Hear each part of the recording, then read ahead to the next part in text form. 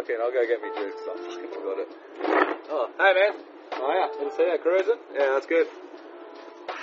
You're looking at fourteen dollars, sir. Fourteen bucks. Also, if you're a married man and you just want to fuck come here and eat and have a perv, it's probably a good spot for you. You can just have a look, daydream, pretend. Yeah, see, that's what I'm talking about. You just get fucking ten to walk in. Look at this one.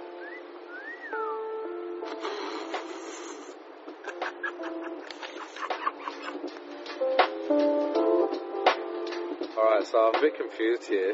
I was meant to get a breakfast burger, and this looks like a lunch burger, a hamburger.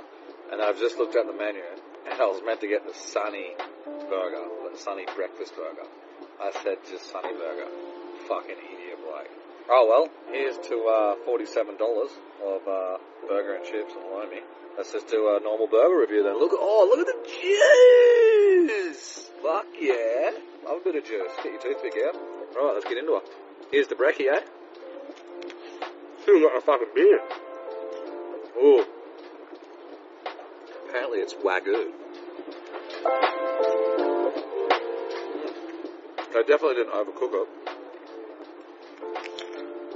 But I might have slightly undercooked it, which to some people can be put off, but to me I'm fine with that. Better under than over.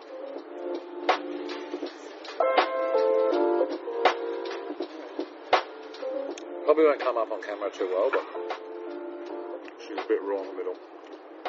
I tell you what though, that tangy barbecue sauce and the crunchy lettuce is fucking delicious, but it's good. Wow. I'll let you know how I go. I'll keep chewing on. Right, so I'm almost at the end here. This burger's pretty good.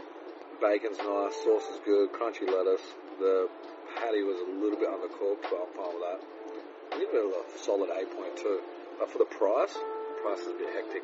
But waiting time was legit, about six minutes, so that's fucking pretty good. Extra minute and that patty would have been perfect.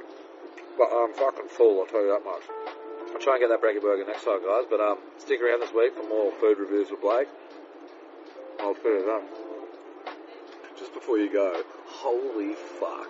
Never done a napkin review, but this thing is like fucking thousand thread fucking Egyptian fucking something.